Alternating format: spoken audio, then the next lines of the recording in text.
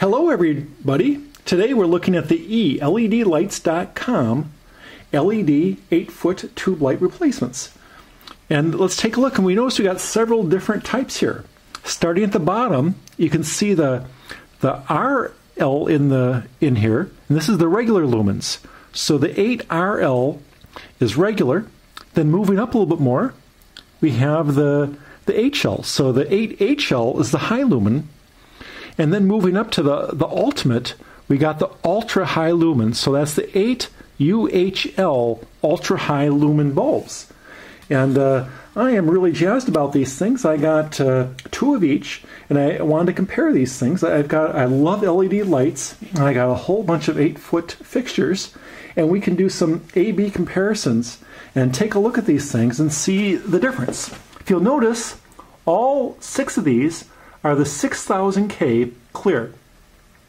And when it comes to the eight foot bulbs, it seems like uh, 6000 you know, is more, uh, it has higher light and it's a little bit more bluish. And they don't really, uh, since they're designed for more uh, factories and warehouses, they don't really go for the, the low color temperatures. So this is for maximum efficiency. So let's just see how it works. Let's take a look at these three bulbs uh, close up. On the bottom, we have our regular lumen, and uh, you can see that the bulbs or the LEDs, it doesn't have nearly as many LEDs. There appears to be almost 50% more LEDs on the upper one, the upper two. And then we have the the, uh, the high aluminum, and then we have the ultra high lumen. You can see the, the two top ones look exactly the same. This one's supposed to have 5,400 lumens, and this one's supposed to have 4,800 lumens. And this top one is supposed to use four more watts. Here we have 40 watts, and here we have 44 watts. And uh, although I don't see any differences in them, let's see if we can really see a difference. Uh, otherwise, all these bulbs have the exact same specs. Here's the back side where you can see the labels better. But this one has 4,000 lumens, 4,800 lumens. This one says 5,400 lumens. And you can see the, the uh, the other differences on the label there if you'd like to stop the video and take a look at it. Well, here we are in my garage where we all have a bunch of 8 foot bulbs and they provide lots of light. It's a nice color temperature. It looks to be about maybe uh, 5000 K. And uh, anyway, this is a before, although with the auto correcting on a camera, you really can't tell much for the before. I'll try to do some actual A-B comparisons so that you can see what these things look like. Really, you never know what you're going to find until you take the covers off. You can see here's the cover right here. You can see this uh, little uh, clip. You screw this little clip. And that goes through the little square hole up here and the cover comes off. And it hinges on the, the back side. See, these are standard 8 foot uh, bulbs with a single pin on this side and a single pin on that side. Just for a little frame of reference. So let's just see what we got here. On this end, you can see a blue and a red wire. The red wire goes to the single pin to the right, the blue wire goes to the single pin to the left, but you can see that they're both twisted together to a blue wire here. So uh, the blue goes over to this end, and then you can see a red coming up. Oops, let me just get back here. Guess I'm out of frame. You got a red coming up. This red twists up with a black and a white. And let's and those black and whites go to the end. So uh, that's what we have. And then there's two wires hanging down. I, I think somebody came in here and did something here. I don't know what's going on here, but no problem. Uh, we don't care what's going on here. And don't get those black and whites confused up with the real black and whites, which are coming in from the, the wall. So you can kind of see there's a big hole up in the ceiling there. And there's a white wire coming in here, black wire coming in here. This is the AC line. So this is the AC line where we have to hook up. We hook up one end of these AC lines to, to the one end of the tube, the other end of the AC line to the other, other end of the tube, and we'll take the, the AC line and disconnect it from the, the awful, noisy, power ho uh, hogging ballast. We're all done with the wiring. Let me show what you have. So remember the, the white wire coming in from the ceiling up there. You see it's coming in from the hole in the ceiling. I got hooked up to a white wire. I actually cut one of those extra lengths off on the other side because I need a nice long white wire. It goes all the way down. And see here, it's connected to the See how there's the blue and the red wire up, uh, up here at the top. It's connected here. So I got the white wire connected to the blue and red wire right there. So we have the, the neutral hooked up to those two on that side. The white wire is hooked up over here. Out of the wall, and we got the black wire. Oops, get that on camera. Is the black wire. Got the wire nut coming through. And the black wire goes all the way up into there into, into the left side. You notice there's two wires. You can see there's two black wires going to the left side. So the black wire goes in there, makes the connection to the left pin. Then there's another black wire coming out.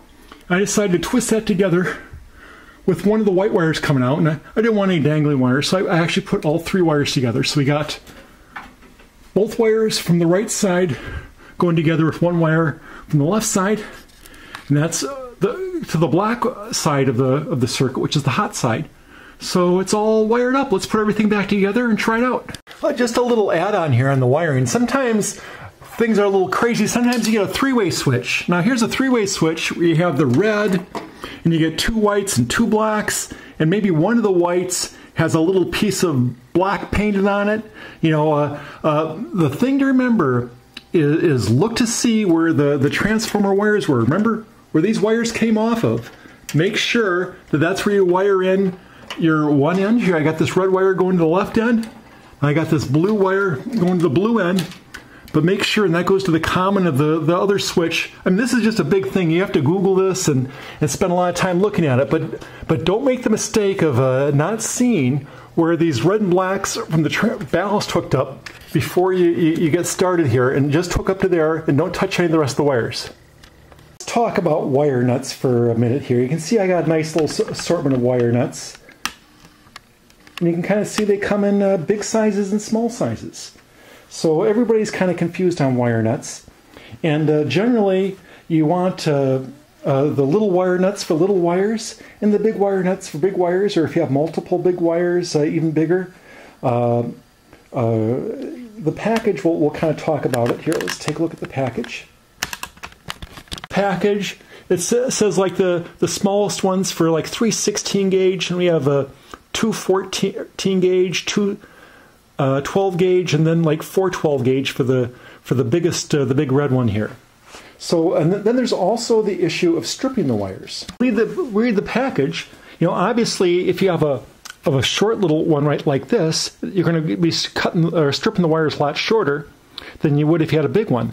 I mean, if they're done long, the, the bare end of the wire would be sticking out and it wouldn't be covered of insulation. And generally, the fatter the wire is, the shorter you do it. So if you're twisting a, a fat wire and a skinny wire, the skinny wire is going to wrap around a bunch of times, and the fat wire is hardly going to wrap at all. So the, the skinny wire needs to be longer. So those are things to take in mind. Okay, so I've got a 12 gauge wire here. So I got the wire nut that was for two 12 gauge wires. And I want to take uh, two 20 gauge wires and attach them on here. So I, I cut this like about 3 eighths according to the instructions. I, I normally would have done it longer, but I'll follow the instructions. And this is half inch. And like I say, I would have maybe done it maybe an eighth of an inch longer too. Now the thing is that we need a mechanical connection. So you, you line up to the insulations together, take a pair of pliers. I hope I'm not blocking the camera here. Oops. Pair of pliers. And you have to, to twist it to where it's mechanically secure.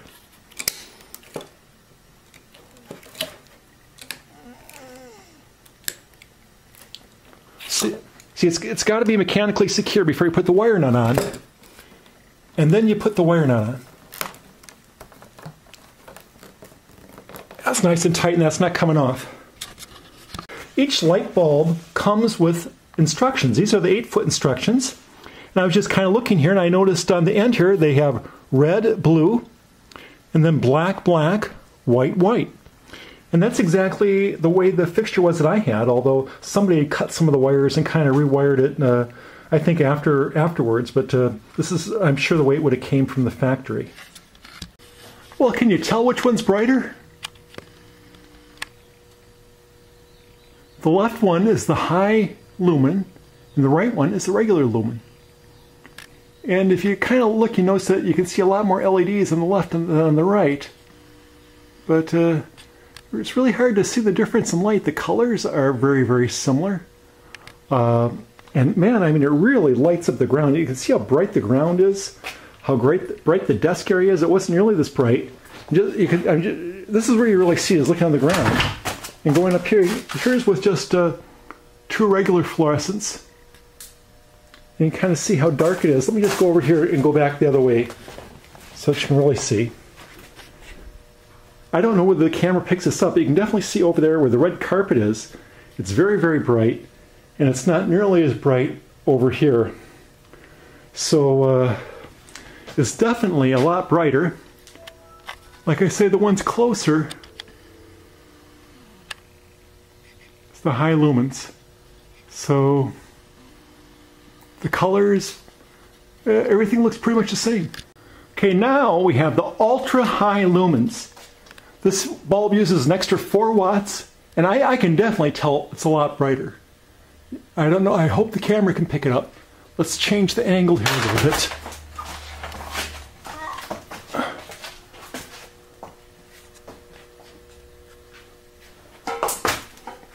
Oops. So at the top of your screen is the high lumen, the bottom of the screen is the regular lumen and uh, hopefully the, the dynamic range of the camera is enough to pick that up. And uh, as far as light goes, oh come on, autofocus boy. Anyway, uh, you can definitely see how much nicer it's going to be working on uh, on my machine tools, and how I live like a pig, and I should really sweep my uh, my uh, floor. And you compare the colors. Let's get both colors in here. So the, I think these are Philips Cool Whites. So uh, they, they use twice as much power as LED bulbs. And you can see they definitely don't have nearly as much light. Get, getting back to the ground here. I don't know whether the autofocus will really pick it up. But uh, it's really, I mean, it looks kind of dim underneath the fluorescent bulbs where it's really crisp and bright underneath the high lumen bulbs. So here we have it. There's no reason you have to have two light bulbs installed. You can have just one light bulb installed. This is the high lumen, just for reference, and compare it to the, the fluorescent. Uh, let's take a look. I mean, as far as the light goes, I mean, it's really hard to tell the difference between one and two. I mean, uh, it's definitely brighter at two, but I mean, this is adequate light. This is a lot of light. And if you notice, we still seem to have more light here than we do with two uh, 80 watt uh, cool white fluorescents. So there's two fluorescents. It looks a little darker. You can see it looks brighter here. Or maybe it's just my eyes. Uh, you know, I think the camera's picking this up too.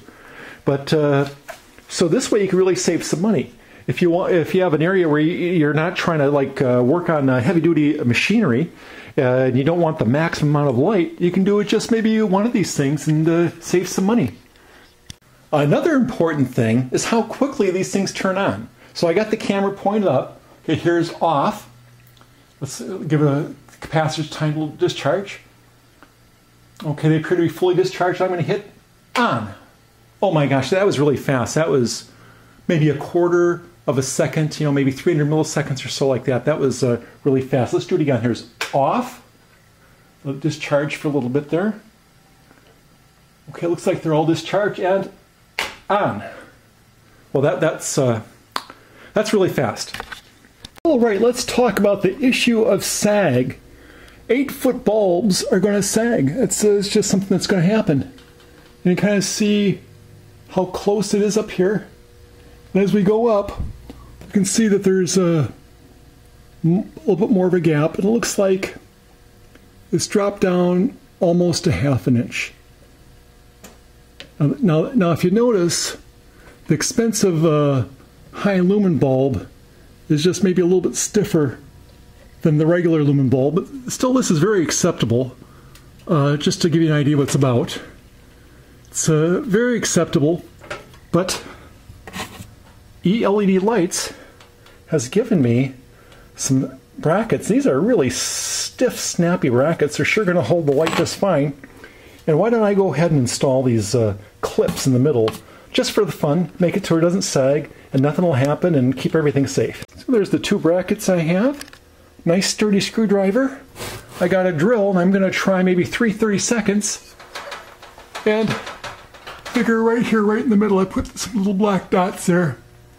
And I made sure that there weren't any wires in here. By the way, when I when I put the wires through here, I made sure that I can drill through in these two spots and I won't have any trouble. Now here we have the ultra high lumen to the left and the high lumen to the right. And uh, I can spot a little difference. I hope the camera can spot it. I just wanted to get an idea of how these little clips worked. And by the way, these are really nice stiff clips. I mean, this thing is in here secure. I mean, there's nothing wiggling around now. I mean, with these clips up here, this thing is really installed, very solid.